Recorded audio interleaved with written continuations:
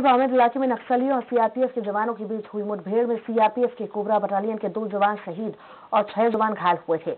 मुठभेड़ में घायल हुए सीआरपीएफ के जवान पौरव पांडुरंग से बात की। हमारे संवाददाता हेमंत शर्मा ने।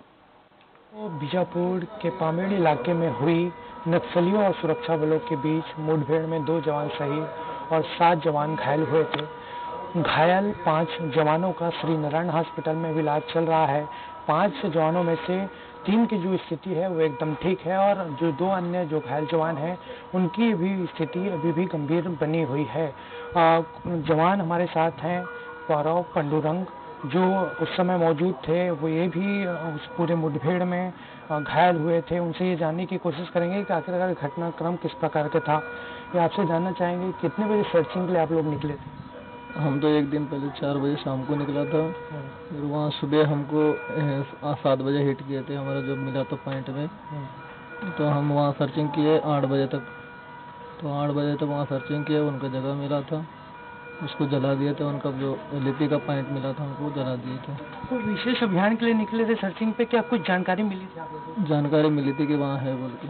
है वहाँ तो कुछ इनपुट्स नहीं मिला क्या कि वहाँ पर अचानक क्या ऐसा घटनाक्रम हुआ? सर्चिंग के निकले कैसा हमला आप लोगों को?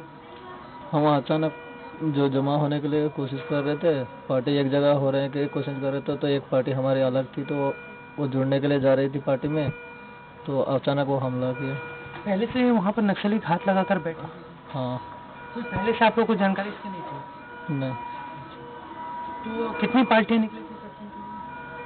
204 के भी दो दो तीन पार्टियाँ निकली थी 208 का आए थे 202 का 206 का।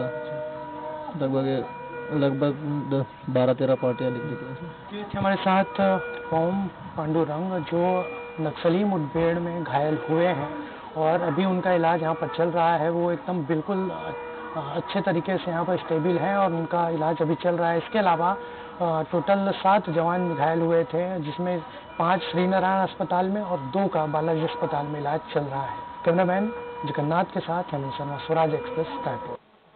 जब किसानों की कोई सुनने को तैयार नहीं तो